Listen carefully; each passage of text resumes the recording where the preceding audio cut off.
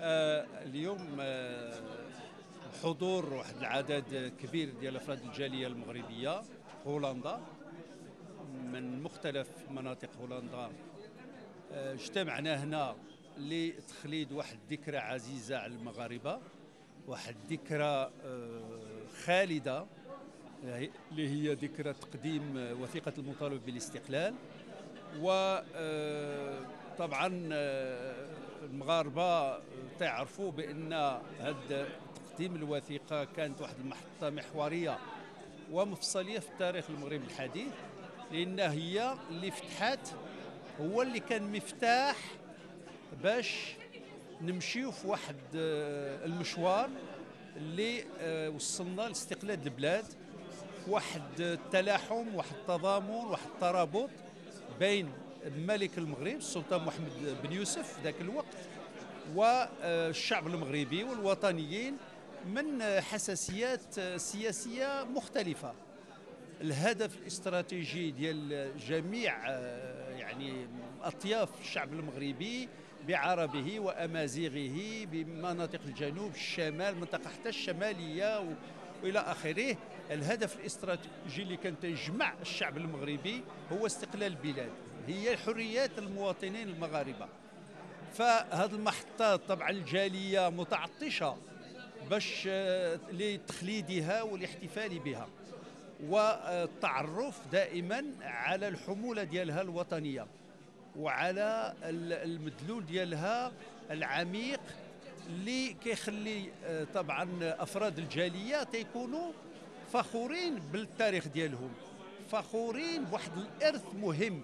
حتى هما كيحسوا بأن بلادهم عندها آه، واحد التاريخ آه، ثري غني بالمنجزات غني بالنضال غني بروح آه، يعني روح المسؤولية باش يوصلوا لواحد الهدف بجميع الوسائل الممكنة.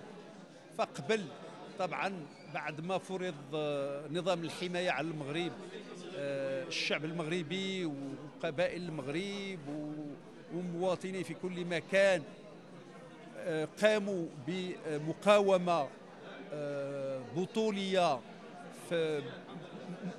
مسلحين رغم كل شيء بإمكانية آه، يعني ضعيفة ولكن كان عندهم ذاك الإرادة القوية باش يحصلوا على استقلال البلاد. وبعد ذلك جات الاستراتيجية ديال العمل السياسي ونظرا طبعا لعدم استجابة الاستعمار الفرنسي لمطالب الشعب المغربي المشروعة.